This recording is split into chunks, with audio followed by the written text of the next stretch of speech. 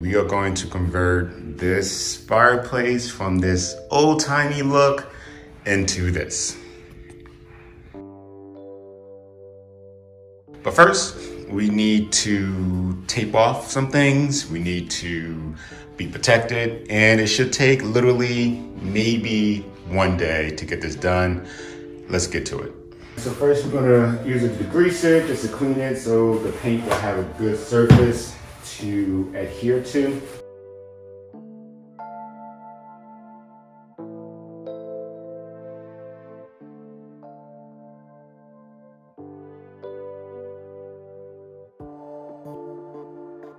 Next, we're just going to cover up the areas that we do not want to get painted. And all you need is some painter's tape and some construction paper. I like to use some tape first on the surround.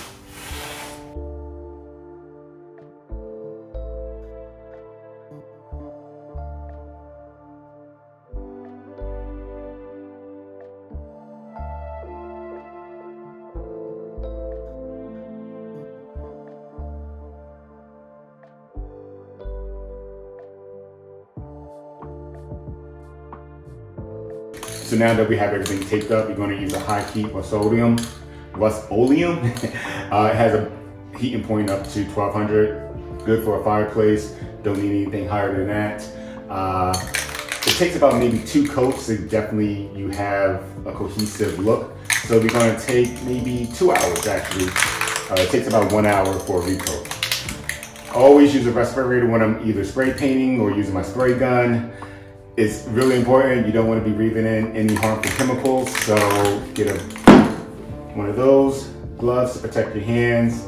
And basically that's all you need um, and time. So take this up for about a minute and you can start painting.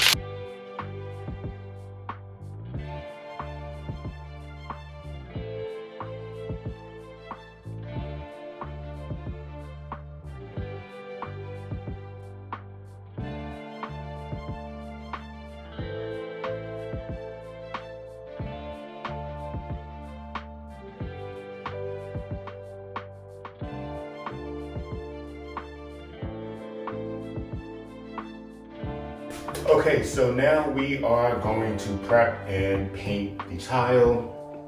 Originally, at first, I was going to use my spray gun. This is a really, really, really, really great spray gun.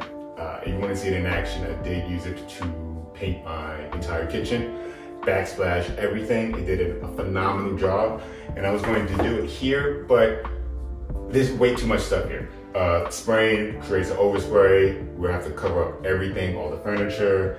Got the, the frame TV here. Can't, don't want to, I don't want to get anything extra dirty or with paint on it. So I'm going to use a trusty roller and a paintbrush.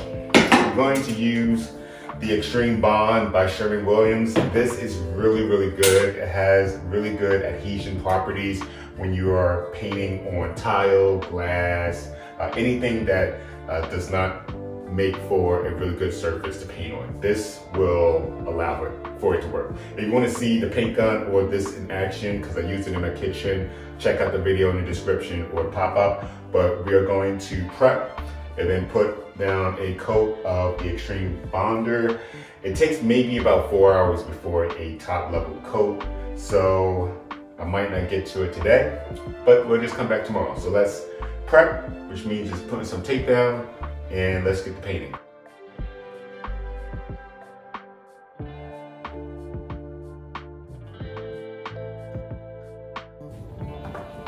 Alright, so we have the first coat of the primer on. I'm going to do two coats just because when it's when it's a roller and a brush, uh, you can definitely miss some areas.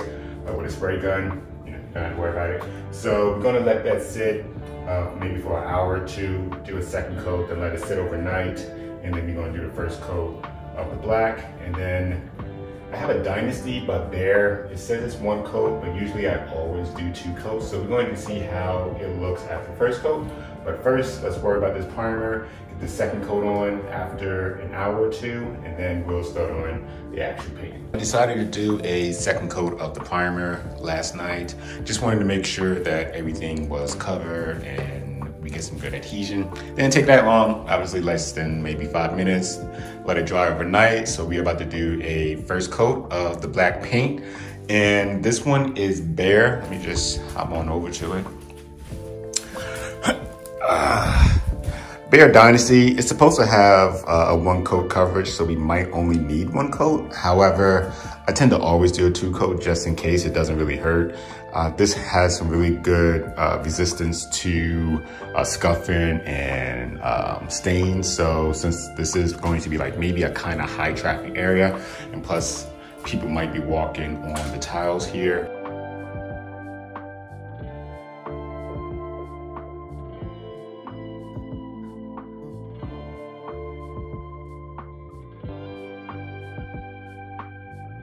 All right, so we're gonna let this sit for, I don't know, how many, how long does it take for a recoat?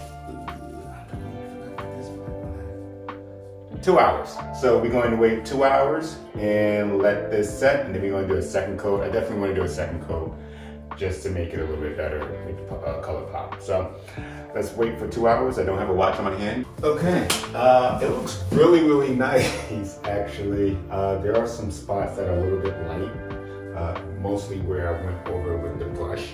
But I'm going to do a second coat and let that sit for yeah 24 hours. Um, so yeah, let's uh, let's do a second coat.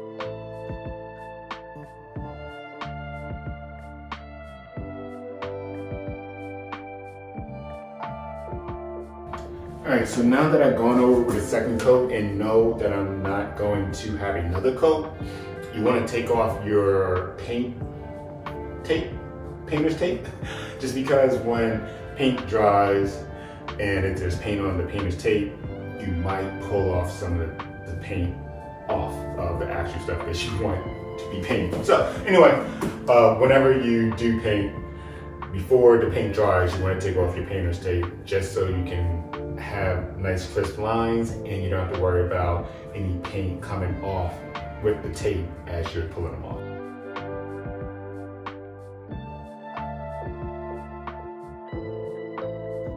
Yeah, so I'm actually pretty happy with how it turned out. I am going to touch up some areas where the painter's paint uh, has some uh, seepage. Uh, it, it's not my preferred painter's paint. I actually used green fog, but I didn't have enough here. But I like how it came out. Nice, modern black. I might update the mantle, maybe just give it a fresh coat of paint so it can pop out. But um, other than that, I really enjoyed it and can't wait for the next project. Peace.